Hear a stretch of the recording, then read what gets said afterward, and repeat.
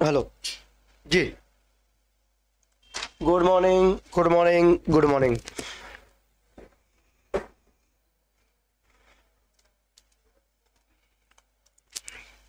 clear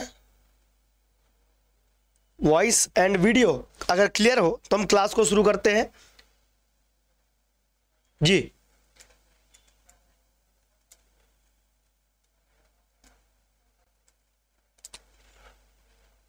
Y लगा दीजिए। Class शुरू करते हैं। दोस्तों, आज हम पढ़ने वाले हैं मध्य प्रदेश के अलावा सुबह जो हमारा भारत का भूगोल चल रहा है तो भारत के भूगोल में हमने कल देखा था वनों का वर्गीकरण। आज हम देखेंगे भारत की वन नीति और वनों की उत्पाद एवं उनकी उपयोगिता के लिए बनाई गई हमारी सरकार द्वारा बनाई गई नीति। जी हाँ रंकित जी देश प्रेमी जी, ज्योति जी, राहुल जी, सबका बहुत बहुत स्वागत है। यहाँ पर वनों के उत्पाद को लेकर, जी हाँ दोस्तों, वनों के उत्पाद को लेकर हमको एक नीति बनाने की आवश्यकता पड़ती है, क्योंकि अगर हम वन नीति ना बनाएँ, कई बच्चों को यह पता नहीं होता सर ये वन नीति बनाई क्यों जाती है। वन नीति बनाने के पीछे रीजन क्या होता है कि वन नीति अगर नहीं बनाएँगे तो लोग अंधाधुंध वनों का दोहन कर सकते हैं, कटाई कर सकते हैं, इसकी वजह से वनों को बहुत ज़्यादा हानि पहुँच सकती है। तो वनों के उत्पाद को तो वन उत्पाद में ईंधन की लकड़ी इमारती लकड़ी काष्ठ कोयला के अतिरिक्त वन के अन्य उत्पाद जो हमको मिलते हैं, उनके दोहन के लिए हम क्या करते हैं? नीति बनाते हैं। इसमें बाँस, बैत तेंदुपत्ता घास, तेल, लाख, राल, गोंद, यानी कि एक वर्ड और अगर आप इन सब के लिए लिखेंगे तो वो आएगा वन उत्पाद। क्या आएगा बेटा? वन उत्पाद। वनों से निकलने वाली ऐसी चीज़ है जो वनों के लिए तो वेस्टेज है, लेकिन हमारे लिए काम की है। जैसे कि उसमें अगर आप देखोगे कि घास है, तेल निकलता है कई अरंडी का तेल मान के चलो, लाख लाख भी एक प्रकार की राली है, लाख है, गोंद है, ये सारी चीज़ें। तो यहाँ पर आप देखोगे, रंग, शहद, सब्ज़ियाँ, फल, जड़ें, कंदमूल, जो भी वनों से प्राप्त होता है, उसे वन उत्पाद कहते हैं, उसके दोहन के लिए जी हाँ उसके दोहन के लिए in addition to fuel wood timber and wood coal, यानी कि कोई भी ऐसी चीज़ जो वनों से प्राप्त होती है, उनके दोहन के लिए हमको नीति बनानी पड़ती है, उसे वन नीति कहते हैं। ज्योति जी, नमस्कार। अब आज हम देखने वाले हैं दोस्तों कि इसमें से जो जो जो जो प्राकृतिक अपनी कंपोनेंट है या प्राकृतिक जो भी हमारे पास उत्पाद हैं, उनको हमने कैसे उसका नियम, कानून बना एक मिनट रुको। गेट लगा दो, आवाज़ बहुत आ रही थी बाहर से। उसका हमने कौन सा नियम, कानून बना रखा है? ठीक है खम्माखड़ी राहुल जी, कैसे हैं? बाँस के लिए अगर हम बात करें तो बाँस अगर आप देखें तो पहले एक प्रकार की जंगली घास हुआ करती थी बाँस। लेकिन आजकल आप देखोगे तो इसका क्या होने लगा है? एक प्रोडक्शन होने लगा है, किसके तौर पर? वाणिज्यिक तौर पर। ठीक है, इससे बहुत पैसे कमाए जा रहे हैं। बाँस मानसूनी प्रदेश में पाया जाता है और औसत वार्षिक वर्षा जहाँ पर 150 सेंटीमीटर से अधिक होती है, वहाँ पर बाँस और वहाँ पर जहाँ पर 150 सेंटीमीटर से अधिक वर्षा होती है, वहाँ पर बाँस अच्छी क्वालिटी का और अच्छी क्वांटिटी में उपलब्ध किया जा सकता है। इसलिए ऐसे क्षेत्रों को चुनकर वहाँ पर बाँस लगवाए जा रहे हैं। बाँस से क्या होता है भैया? टोकनी बनाना, छाजन निर्माण, कागज़ तथा लुगदी बनाने के लिए इसका काम किया जाता है। ठीक है? कागज़ तथा लुगदी बनाने के लिए इसका काम किया जाता है। बहुत बढ़िया।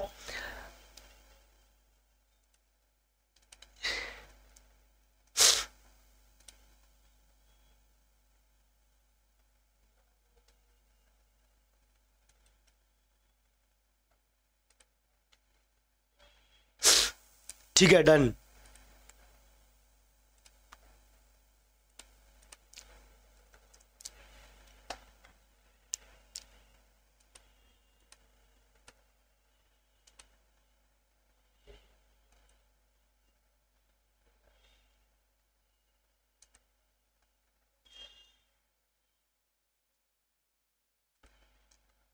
ठीक है? ओके डन सब आनंदित हैं? बहुत अच्छी बात है। तो टोकरी बनाना, छाजन निर्माण, कागज़ लुगदी बनाने में इसका इसको किया जाता है। दिसंबर 2017 में भारतीय वन अधिनियम उन्नीस सौ सत्ताइस में संशोधन करके बाँस को वृक्ष की श्रेणी से हटाकर घास की श्रेणी में कर दिया गया था। जी हाँ। अब बम्बू की बात करें तो बम्बू कई चीज़ों के लिए उपयोगी है और बम्बू कई चीज़ों के लिए उपयोगी रहा है शुरू से भी। तो यहाँ पर हम देख लेते हैं, यहाँ पर हम देख लेते हैं, भारत में सौ से अधिक किस्म के बाँस पाए जाते हैं। और योजना के अनुसार देखा जाए तो बाँस के कुल 200 से 210 कितने बेटा? 100 से 210 वर्ग किलोमीटर वन के क्षेत्र में पाया जाता है और इसका वार्षिक उत्पादन कितना है? तो चार मिलियन है। कितना है? चार मिलियन है। बहुत अच्छे। लिख दीजिए भैया। भारत के हिसाब से क्वेश्चन पूछा जाएगा तो 100 से अधिक टाइप की वैरायटी यहाँ पर पाई जाती है। और अगर आप देखेंगे तो यहाँ पर बिल्कुल क्लियर कट है कि वार्षिक उत्पादन हमारा कितना है? चार मिलियन टन के आसपास हम इसमें उत्पादन करते हैं। हालाँकि बाँस बनाया लगाया किस लिए जाता है? क्योंकि लोगों के लिए रोज़गार उपलब्ध कराया जा सके। बात करते हैं बेत, असम, केरल, कर्नाटक, पश्चिम बंगाल, गुजरात और जम्मू कश्मीर में नम व आई वनों में पाया जाने वाला बेत। बेत भी एक प्रकार का क्या है? ऐसी लकड़ी है जिससे बहुत सारी चीज़ें बनाई जाती हैं। जैसे कि अगर हम बात करें, डोर, रस्सी, चटाई, बैग, इन सब चीज़ों के लिए बेत का उपयोग किया जाता है। बेत का जो उत्पादन है, वो हर जगह नहीं होता है। बेत का उत्पादन कुछ विशेष स्थानों पर ही होता है, जिसमें कि असम, केरल, पहाड़ी क्षेत्र हो, पहाड़ी क्षेत्र हो, वहाँ पर बेत का उत्पादन किया जा सकता है। इसके बाद आता है तेंदू। क्या था बेटा? तेंदू। अगर तेंदू की बात करें तो तेंदू के पत्ते छत्तीसगढ़, झारखंड, उड़ीसा, मध्य प्रदेश, पूर्वी राजस्थान तथा आंध्र प्रदेश से प्राप्त किए जाते हैं। इसका उपयोग बीड़ी बनाने में किया जाता है। ठीक है? Tendu. Tendu leaves are obtained from Chhattisgarh. क्या बात कर रहे हो? झारखंड। इवन हमारे मध्य प्रदेश में भी तेंदू होता है। बट ज़्यादातर तेंदू है जो इसी प्रकार के जी हाँ। इसी प्रकार के।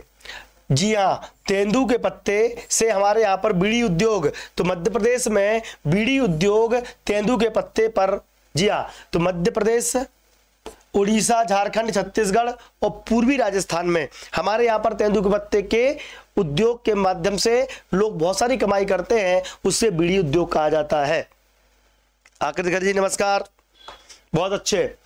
अब हम बात करते हैं घास। चौथा नंबर पर लिखो घास। क्या लिखोगे? घास। घास की बात करें, ग्रास की बात करें तो हमारे यहाँ पर भी कई प्रकार की घास पाई जाती है। कई प्रकार की घास पाई जाती है। और प्रमुख घासों में कौन सी है? क्वेश्चन यहाँ से आ चुका है भैया। सवाई ग्रास। कौन सी? सवाई घास। बहुत अच्छे। क्वेश्चन यहाँ से आ चुका है। सवाई घास की बात करें तो अर्ध हिमालय की तराई प्रदेश में, और ऐसा ही क्वेश्चन आया था, मैंने पूरा शायद हवेली पर भी करवा चुका हूँ, कि जो हिमालय है, उसके तराई के क्षेत्र मतलब तराई मतलब निचले क्षेत्रों में, किस प्रकार की घास पाई जाती है, सवाई का नाम लिख लो क्वेश्चन आएगा। सवाई घास पाई जाती है, ठीक है? एलिफेंट्रा घास एलिफेंट घास एलिफेंट घास असम में पाई जाती है, ये भी लिखो। Elephant grass elephant grass Assam में पाई जाती है। Spear grass spear grass spear grass और उल्ला तथा पानी घास आदि और खसखस खसखस घास, स्प्रियर घास, उल्ला घास, पन्नी घास, खसखस घास, भरतपुर तथा सवाई माधेपुर का उपयोगी गर्मी के दिनों में ठंडे पर्दों के लिए ये खसखस घास का उपयोग भी किया जाता है। अच्छा खसखस आपने देखी होगी। खसखस की भी एक प्रकार की घास है। एक्चुअली अगर आप देखें तो राजस्थान के सवाई माधोपुर की बात कर ले या भरतपुर में बात कर ले तो सवाई घास अलग है सवाई माधोपुर अलग है। सवाई घास अलग है सवाई माधोपुर अलग है। सवाई माधोपुर और भरतपुर, ये राजस्थान के शहर है। अभी कुछ कटनी, उमरिया का जो क्षेत्र है, ये चंदवा बोलते हैं हमारे यहाँ पर। अगर आप लोकल भाषा में अगर आप मध्य प्रदेश के हैं तो इतना बड़ा सा एक घास होती है, उसको उखाड़ोगे तो नीचे लंबी लंबी जड़ें निकलती हैं। और वही खसखस की घास होती है, जिसका उपयोग हम क्या करते हैं?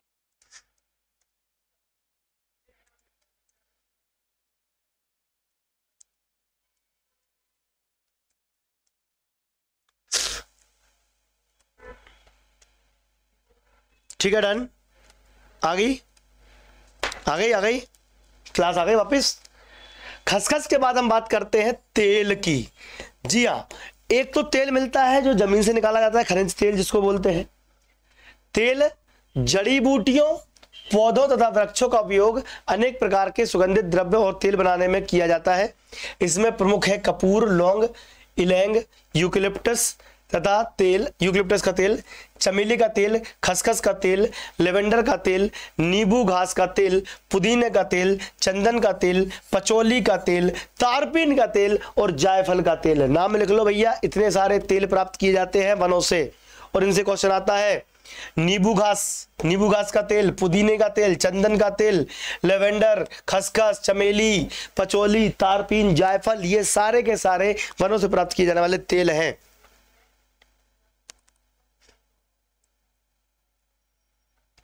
बहुत अच्छे। ठीक है? चलने दो भाई। बहुत अच्छा। चलने दो। करेक्ट है परफेक्ट है।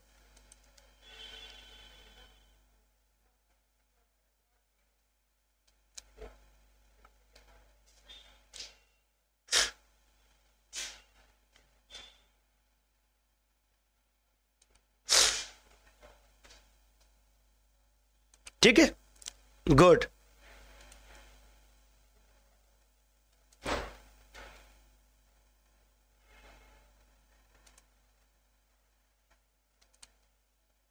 ये अटक रहा है थोड़ा सा, कुछ वजह से नेट का इशू हो सकता है। लिख लिए।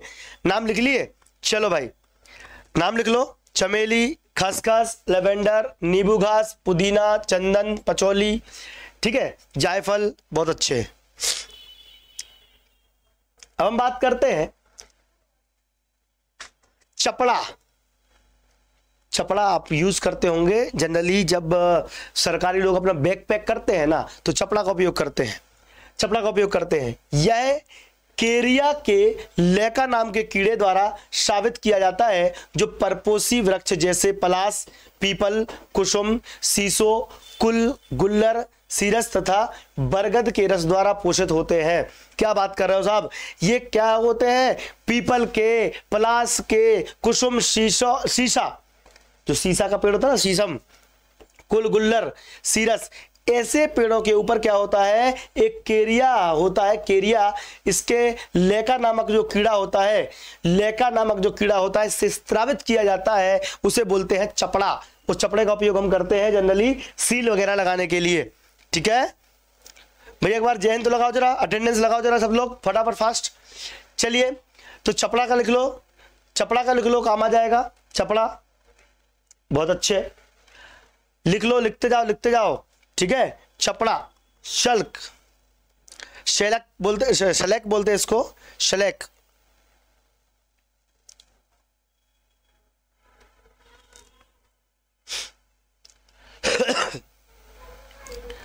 आगे देखोगे, विश्व में लाख के उत्पादन में भारत का एकाधिपत्य है।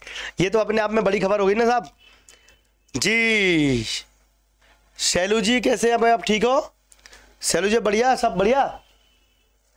रिकवरी परफेक्ट विश्व में लाख के उत्पादन में भारत का एकाधिकार है, इसका उपयोग रेशम की रंगाई चूड़ियाँ, रंग युद्ध सामग्री, पटाखे, ग्रामोफोन के रिकॉर्ड, मोहरी लाख, विद्युत रोधक सामग्री, जूतों की पॉलिश, प्लास्टिक ढांचा, स्प्रिट बेकिंग एनिमल और जहाज़ में एंटी मोल्डिंग कंपोजिटरी बनाने आदि में किया जाता है।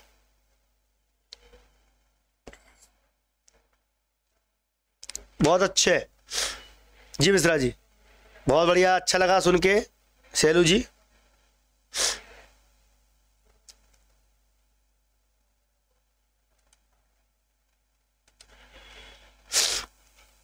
ठीक है? बहुत अच्छे। तो प्लास्टिक ढांचा स्प्रेड बेकिंग सोडा लाख का यूज़ क्या करते हैं हम? लाख का यूज़ करते हैं चूड़ियाँ बनाने में। बन्नो, तेरी लखी, अखिया लाख की रे। तो लाख की रे। बिल्कुल सही है। ठीक है? अंकित जी, नमस्कार। चलिए। लाख भी एक प्रकार की प्राकृतिक राल है। राल, रेजिन।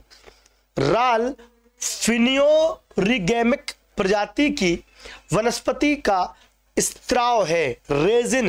नाम लिख लो ये सारे के सारे क्वेश्चन आते हैं, बेटा साफ़ साफ़ स्पष्ट शब्दों में बोल रहा हूँ मैं। इनसे डायरेक्ट क्वेश्चन आते हैं, इनमें घुमा फिरा कुछ भी नहीं पूछते हैं। राल फेनियोरेगेमिक प्रजाति की वनस्पति का स्त्राव है या पीले रंग का ठोस पदार्थ है, जो जल में घुलनशील नहीं है, परंतु एल्कोहल में घुलनशील है। जल में नहीं घुलता है, लेकिन एल्कोहल में घुल जाता है। जल में नहीं घुलता है एल्कोहल में घुल जाता है। परंतु एल्कोहल में घुल जाता है। हिमालय के शंकुधारी पाइन वनों में राल का एकत्रीकरण और वाणिज्यिक दृष्टि से किया जाता है। इसका उपयोग साबुन बनाने में तथा कागज़ एवं कपड़ों को चिकना करने में मोहरी, लाख, लियोनियम, स्नेहक, रंग और स्याही बनाने में किया जाता है।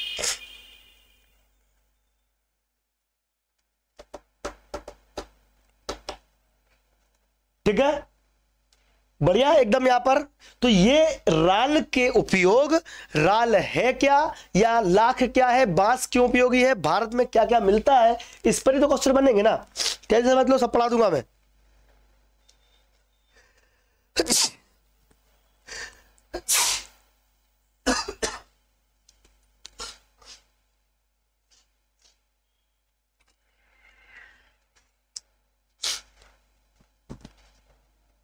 चलिए, अब यहाँ बढ़ते हैं भैया कि गोंद गोंद, देखो लोग गोंद खाते तो हैं, लोग गोंद खाते तो हैं, लेकिन गोंद का उपयोग चिपकाने में भी किया जाता है, गोंद का उपयोग कई सारे पकवानों में भी किया जाता है, और अभी तो ठंडे चल रही तो गोंद के लड्डू तो खाए ही होंगे आपने।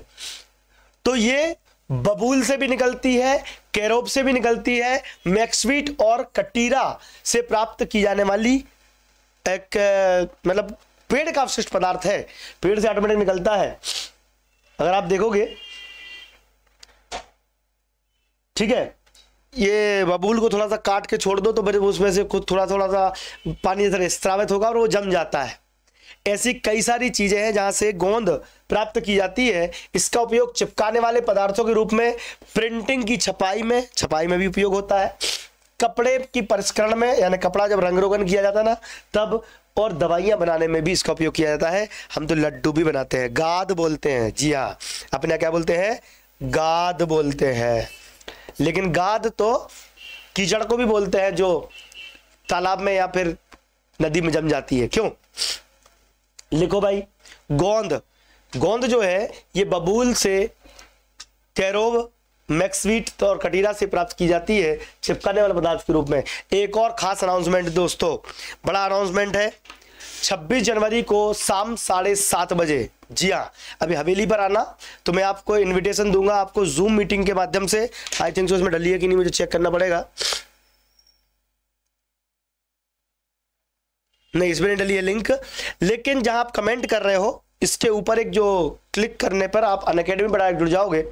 तो साढ़े सात बजे आपको जूम मीटिंग है इंडिया टॉप एजुकेटर के माध्यम से जिसमें मैं भी शामिल हूँ। आपके लिए कुछ गाइडेंस दिया जाएगा। उसके लिए आपको जुड़ना है। जूम मीट, मीटिंग से 7:30 26 जनवरी। सभी विद्यार्थियों से निवेदन है कि आपको आना है और उस दिन बेहतरीन सेशन होगा। उसके बाद बैक टू बैक दो स्पेशल क्लासेस होंगी और स्पेशल क्लासेस के माध्यम से आपको बेहतरीन क्वेश्चन भी करवाए जाएँगे। ठीक है? नए क्वेश्चन एकदम करवाए जाएँगे। हवेली क्या होती है? हवेली होती है अन अकेडमी की फ्री क्लास। उसकी लिंक आप देखोगे तो जहाँ आप कमेंट कर रहे हो, उसके ऊपर एक नीली पट्टी आ रही ना, उस पर डायरेक्ट आप जाके ज्वाइन कर सकते हो मुझे आप हवेली पर। चलिए, अगला क्वेश्चन कहाँ से बन सकता है? देखिए।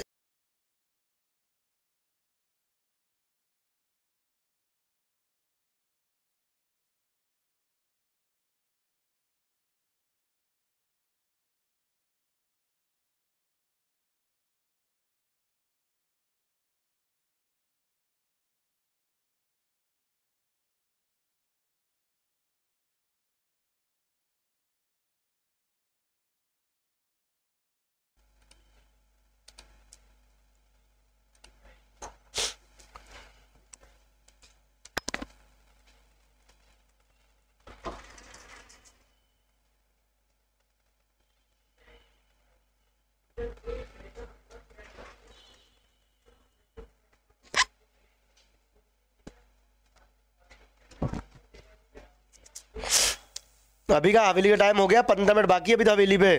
राहुल जी, अभी लाइट मत चालू करो लाइट वेस्ट हो जाएगी अपनी। और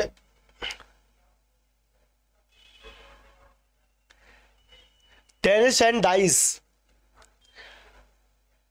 जो रंजक होते हैं डाइज होती है, जिसको हम रंग रोगन के लिए उपयोग करते हैं, उसे बोलते हैं चर्म शोधक या रंग। ठीक है? तो टेनेनिन या डाइज जो होती है, इनका जो प्राप्त है, जो ये प्राप्त है, ये भी कहाँ से प्राप्त की जाती है? ये भी प्राप्त की जाती है कहाँ से? वनों से। ठीक है? देखो इंडियन आलमंड क्या बात करो? इंडियन आलमंड क्यों लिखा हुआ है? क्योंकि हमारे यहाँ पर उतनी अच्छी क्वालिटी की बादाम नहीं होती है। तो हमारे यहाँ पर बादाम चेनेस्टन के छाल मैंग्रोव इन सब चीज़ों से कई सारी चीज़ें प्राप्त की जाती है। जैसे कि चर्म शोधक का उपयोग खालों या चमड़ों के प्रोटीन के स्कंदन के लिए किया जाता है, जिसमें प्रतिरोधी चमड़े का उत्पादन किया जा सके। यानी कि ऐसा चमड़ा बनाना जो लंबे समय तक छिटके ऐसा चमड़ा तो खराब सड़ जाएगा। तो उसको विरंजक या रंजक के माध्यम से, या फिर उनको क्या करते हैं, उसके प्रोटीन का स्कंदन करने के बाद उसको क्या कर दिया जाता है? पका दिया जाता है, इसे बोलते हैं चमड़ा पकाना। क्या बोलते हैं बेटा? चमड़ा पकाना। तो हल्के वनस्पति चर्म शोधक की प्रधानता चमड़ों के उत्पादन में देखी जा सकती है। जैसे कि मैंग्रोव, सुंदरी वृक्ष, ठाट, एवेरम, सुमेक, अर्जुन, इंडियन अलमंड बेर, कुड़प्पा अलमंड और आंवला तथा चेटनस की छालों तथा धूमिया के पत्तों से ये सारी चीज़ें प्राप्त होती हैं। नाम लिख लो, इनमें से क्वेश्चन आए तो ठीक, नहीं तो कम से कम ये पता होना चाहिए कि विरंजक का उपयोग भी हम कैसे करते हैं। चमड़ा भी पकाना है तो वृक्षों का उपयोग हो रहा है।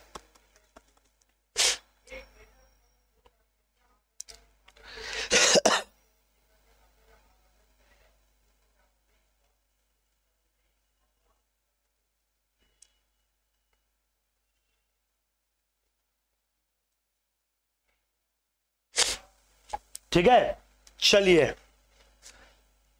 आज चंटी और झाड़ू पोछा वाली दोनों ही नहीं आई है। काव्य पवार जी भी नहीं आई, इनको बुलाओ जरा। सब झाड़ू पोछा लगवाना है यार, हवेली पे। हवेली का टाइम हो रहा है क्योंकि। कथा खैर। क्या बेटा? कथा खैर खैर। ठीक है? कैचू, कत्था खैर की लकड़ी से प्राप्त किया जाता है। खैर, जो पान में लगाया जाता है, कत्था चूने के साथ कत्था लगाते हैं ना, वो एक लकड़ी से प्राप्त किया जाता है। उत्तराखंड, उत्तर प्रदेश, हिमाचल प्रदेश, मध्य प्रदेश, छत्तीसगढ़, झारखंड, गुजरात, बिहार में पाया जाता है। इसका महत्वपूर्ण कारखाना बरेली, उत्तर प्रदेश तथा शिवपुरी, मध्य प्रदेश में है। एक बानमोर में, मुरैना में भी है, लेकिन शिवपुरी, बानमोर दो जगह पर हमारे यहाँ पर, लेकिन शिवपुरी का नाम ज़्यादातर आता है। तो शिवपुरी में कत्थे का कारखाना सरकारी। ठीक है? तो आपको लिखना है। ठीक है? बरेली, उत्तर प्रदेश भी इंपॉर्टेंट है। पूरे भारत में बरेली का कत्था फ़ेमस है। ये भी आप लिख सकते हैं। बरेली का कत्था फ़ेमस है पूरे, बिल्कुल सही। ठीक है? तो ये क्वेश्चंस बनेंगे। अच्छा क्वेश्चन क्लास में मज़ा आ रहा है कि नहीं पहले कमेंट बॉक्स में लिख दे। ठीक है? शॉर्ट में बहुत सारी चीज़ें पढ़ा रहा हूँ, जो आपको बहुत सारा नहीं पढ़ना पड़ेगा। वनों के उत्पाद से, भारत के वनों से इतने क्वेश्चन आएँगे। ठीक है? बाकी हम फिर वन नीति के बारे में क्यों बनाई गई वन नीति हमने बताई दी आपको कि इन सब चीज़ों का प्रॉपर तरीके से यूज़ किया सके। फल सब्जियों के बारे में पढ़ाना ज़रूरी नहीं है। फल सब्जियों के बारे में पढ़ाना ज़रूरी नहीं है। हम सबको मालूम है, हम खाते भी है। जामुन, बेर, गुड़ल, ये फल है। आंवला, इमली, खिरनी, करौंदा, खजूर, बहुत सारी चीज़ें होती हैं। और हम बात करें तो बहुत सारी फल सब्ज़ियाँ सब्ज़ियाँ भी हैं। गोभी, बैंगन, आलू, टमाटर, ठीक है? पत्ता गोभी, अंगूर, सब तो दिख रहा है फल सब्ज़ियाँ, इसको छोड़ दो। ये भी हम वनों से प्राप्त करते हैं। अब बात करते हैं, आपने एक नाम सुना होगा, चारागाह का। यहाँ से क्वेश्चन बन सकता है क्योंकि हर जगह पर चारागाह अब नहीं बनाए जाते। चारागाह के लिए स्पेशल ज़मीन दी जाती है। चारागाह के लिए स्पेशल ज़मीन दी जाती है। तो चारागाह वन घरेलू पशुओं के लिए चारागाह होते हैं। तीन हज़ार पेड़ पौधे, तीस हज़ार पेड़ पौधे पशुओं द्वारा सूक्ष्म आवास ये सारी चीज़ें आपके लिए ग्रास लैंड क्या होता है मैं आपको बताता हूँ। इसके बारे में डिस्कशन करना ज़रूरी है। गवर्नमेंट द्वारा कुछ विशेष स्थानों को चारागाह के रूप में चिन्हित कर दिया जाता है। लोग वहीं पर अपने ढोर बछेरू ढोर बछेरू का मतलब पशु वहाँ पर छोड़ के वहाँ पर चरवा चर, चरने के लिए छोड़ सकते हैं। सब जगह पर चरने के लिए परमिशन नहीं है। ठीक है? तो ग्रास लैंड क्या हो गया भैया? चारागाह। तो फॉरेस्ट ठीक है? ग्रासलैंड। ये यहाँ पर आपको दिखाई दे रहा है बिल्कुल सही तरीके से। ठीक है, तीस हज़ार ट्री एनिमल्स एंड माइक्रो के लिए ये सब आवास है। यहाँ पर लोग छोड़ दिए जाते हैं, पशु पक्षी यहाँ पर निवास कर सकते हैं। यूनिट वन से लेकर टेंथ तक कवर करना है तो बस सुबह की शाम क्लास अटेंड करो, क्योंकि बहुत जल्द मैं आपको पढ़ाने वाला हूँ साइंस एंड टेक वाला जो साइंस छोड़ के टेक्निकल वाला पोर्सन सूचना प्रौद्योगिकी वाला, वो और कंप्यूटर ठीक है? तो आप जुड़े रहे हमारे साथ। वन तथा जलवायु, तापमान, प्रत्यक्ष रूप से वनों की मौजूदगी को क्या करता है?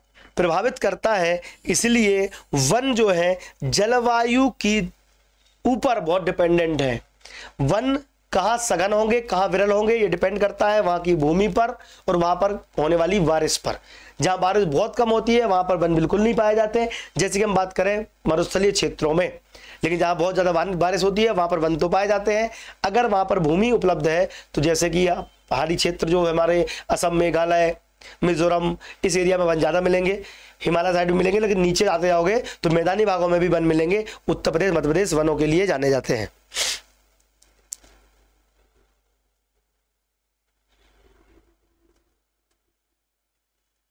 अब बात करते हैं फाइनली राष्ट्रीय वन नीति के ऊपर कहाँ से क्वेश्चन बन सकते हैं क्या राष्ट्रीय वन नीति है? तो ऐसा नहीं है कि वन की नीति या वनों के लिए नियम कानून हमने ही बनाए। ये बहुत पहले, जी हाँ ये बहुत पहले सन 1855 में लॉर्ड डलहौजी ने पूरे देश में वनों के संरक्षण के लिए नियम बनाए थे। समझ में आ गया? भारत में पहली वन नीति की बात करें तो 1855 में वनों के संरक्षण के लिए नीति बनाई थी। इसके अंतर्गत मलाबार की पहाड़ियों में बबूल और नीलगिरी के पेड़ लगाए गए। इसी दिशा में अठारह से अठारह में वन अधिनियम का निर्माण किया गया। फॉरेस्ट एक्ट अठारह में बनाया गया, लेकिन वनों के संरक्षण की नीति जो है 1855 में 1855 में बना दी गई थी। तो संरक्षण के लिए नियम बनाए गए थे। लेकिन वन का या फॉरेस्ट एक्ट की बात करें तो 1878 में वन का फॉरेस्ट एक्ट बनाया गया था। ये बहुत पहले ही बना दिया चुका था। बहुत अच्छे सैलू जी ज्योति जी। अच्छा पढ़ रहे हैं आप लोग। ठीक है? अब यहाँ पर आप देखोगे तो राष्ट्रीय वन नीति अठारह में जब लॉर्ड एलिंग्स द्वितीय वायसराय था, कौन था? लॉर्ड एलिंग्स द्वितीय। सेकंड। ठीक है? तब भारत सरकार ने पहली वन नीति की घोषणा की। ठीक है? भारतीय सरकार ने, अब ये भारत सरकार की अगर बात करें तो उस समय भी गवर्नमेंट ऑफ़ इंडिया ही होती थी, भले वो ब्रिटिशर्स के अधीन में थी। ठीक है? तो क्वेश्चन का आंसर अगर कोई आप पूछे कि भारत सरकार ने पहली वन नीति की घोषणा कब की तो आपको बताना है अठारह में। किसके समय की? लॉर्ड एलिंग द्वितीय। Lord एलिंग Elgin Lord Elgin Lord Elgin second लिखो नाम। काम आएगा। लिखो जल्दी फटाफट फास्ट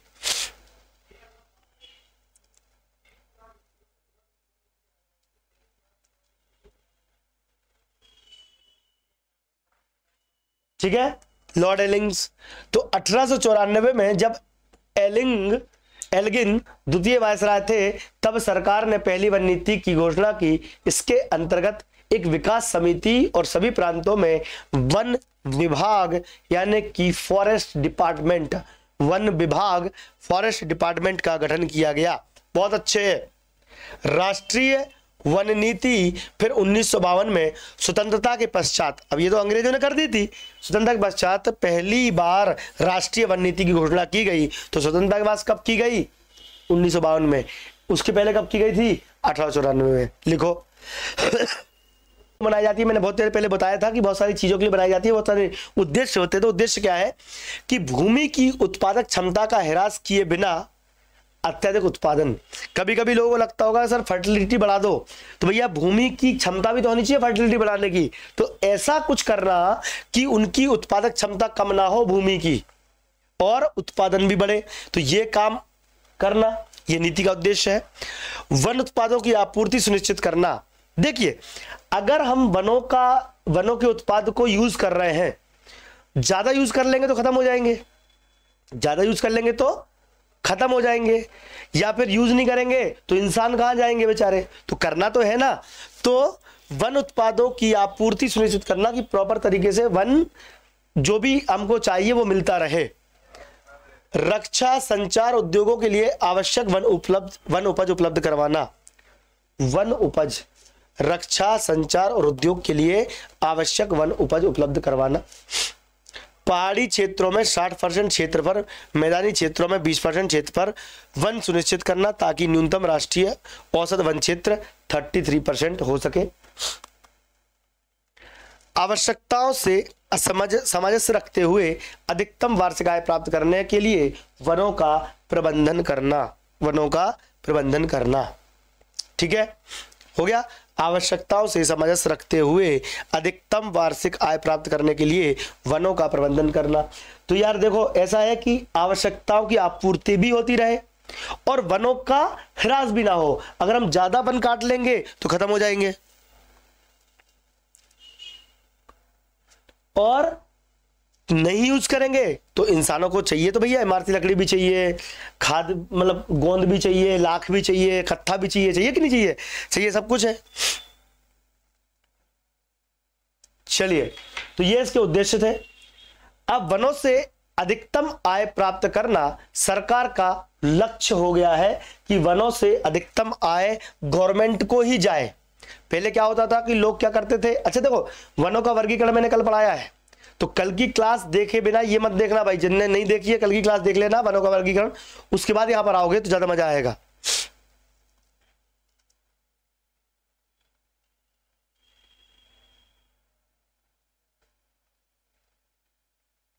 उन्नीस सौ बावन से उन्नीस सौ इक्यासी के बीच कृषि फ़सल के अंतर्गत आने वाला क्षेत्र ग्यारह हज़ार, सॉरी, एक हज़ार एक सौ सतासी लाख हेक्टेयर से बढ़कर अब कितना कर दिया गया है? एक लाख सॉरी एक हज़ार चार सौ उनतीस दशमलव चार लाख हेक्टेयर कर दिया गया है। कृषि फ़सलों के अंतर्गत दो सौ बयासी, कितना? सो, दो सौ बयालीस सॉरी टू फोर्टी टू, दो सौ बयालीस लाख हेक्टेयर यह वृद्धि ग्रामीण क्षेत्रों में वनाच्छादित भूमि को वृक्ष विहीन प्राप्त करने से की गई थी। कहने का मतलब यह कि ग्रामीण क्षेत्रों में जितनी भी वनाच्छादित भूमि थी उसको हटाकर क्या कर दिया गया है? कृषि फ़सलों के लिए इतना लाख हेक्टेयर क्षेत्र फ़सलों के लिए बना दिया गया। तो बंद तो कटे होंगे ना? तो यही है कि भूमि को वृक्ष विहीन करके प्राप्त की गई थी, लेकिन अब वृक्षारोपण के बाद हमने कई सारे वनों को फिर से हरा भरा करने की कोशिश की है, जिनमें हम सफल भी हुए हैं। जिनमें हम सफल भी हुए हैं। पहली वन नीति उन्नीस में और दूसरी वन नीति 1988 में 1988 में। लिख लो भैया, क्वेश्चन यहाँ से भी आते हैं। चलिए भैया, राष्ट्रीय वन नीति दूसरी 1988 में। तो उन्नीस सौ बावन की, उन्नीस सौ बावन की राष्ट्रीय वन नीति को संशोधित करके उन्नीस सौ बावन की राष्ट्रीय नीति को संशोधित करके राष्ट्रीय नीति 1988 कौन सी? उन्नीस अट्ठासी 1988 की घोषणा की गई। बहुत अच्छे। 1988 की घोषणा की गई। The national policy forest policy, ठीक है? 1988 की घोषणा की गई। इसका प्रमुख लक्ष्य था पारिस्थितिक संतुलन और पुनर्स्थापन के माध्यम से पर्यावरण का स्थायित्व बनाए रखना, प्राकृतिक संपदा का संरक्षण करना, व्यापक वृक्षारोपण करना और सामाजिक वानिकी कार्यक्रमों के माध्यम से वनों को रक्षा करना। बहुत अच्छे बेटा। लिखो इसको। लिख लो लिख लो लिख लो।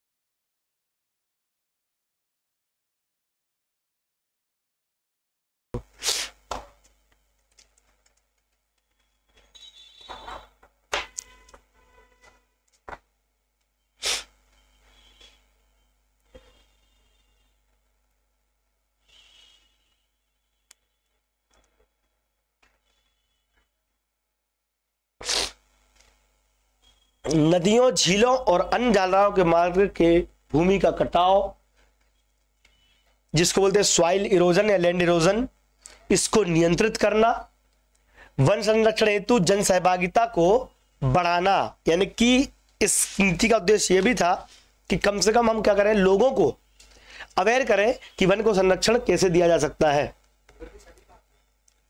वो उसमें ही होगी फिर उसके अंदर? हाँ मैं भी, क्योंकि मैंने नहीं लगाया नहीं लगाया होगा। हाँ नहीं लगाया होगा चलिए तो ये सारे इसके क्या थे वो थे? इंपॉर्टेंट मतलब ज़रूरी थे। अब वन अनुसंधान केंद्र देहरादून में है हमारा भारत का। इसकी स्थापना 1906 में इंपीरियल फॉरेस्ट रिसर्च इंस्टीट्यूट के रूप में की गई थी। ये सब जगह नहीं मिलेगा, ये लिख लो आप। देहरादून का किसके रूप में की गई थी? 1906 में इंपीरियल फॉरेस्ट रिसर्च इंस्टीट्यूट के रूप में की गई थी, ठीक है? तो चलिए अब क्लास को लाइक शेयर कर दो और बाकी क्लास को हम कल करेंगे। आई थिंक सो बहुत सारी जानकारी आपको मिल गई होगी। और अन पर आपको सब्सक्रिप्शन लेना है या आपको फ्री क्लास ज्वाइन करनी है और 26 तारीख को, जी हाँ छब्बीस जनवरी को स्पेशल ऑफ़र है।